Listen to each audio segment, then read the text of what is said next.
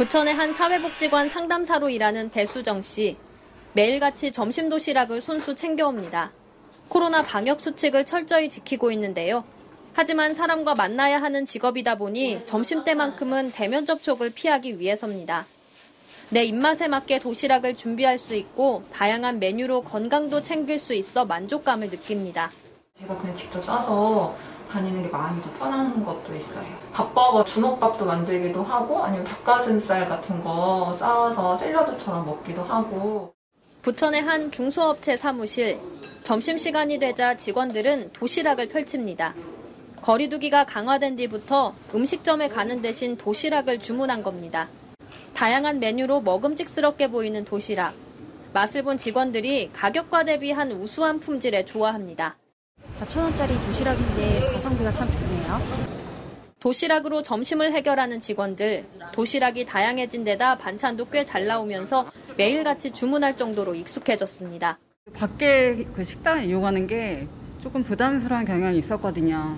근데 최근에 이제 도시락을 시켜 먹어보니까 메뉴도 다양해지고 그다음에 제품도 신선하고요. 무엇보다 비용이 저렴합니다.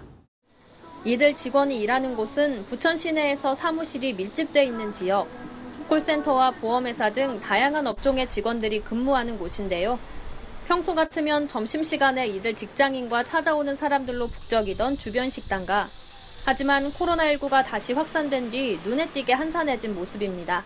아무리 거리두기를 하더라도 사람들이랑 이렇게 부딪혀야 하는데 저희 그 직원들끼리만 모여서 먹으니까 저는 안전하다고 생각합니다.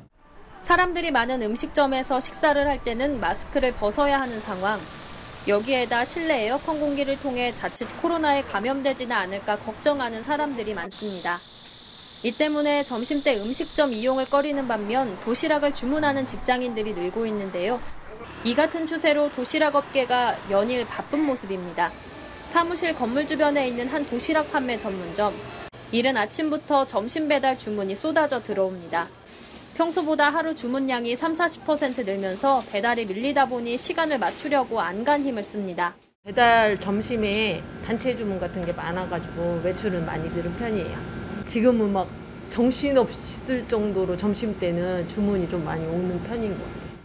편의점에서도 도시락 판매가 꾸준히 늘고 있습니다.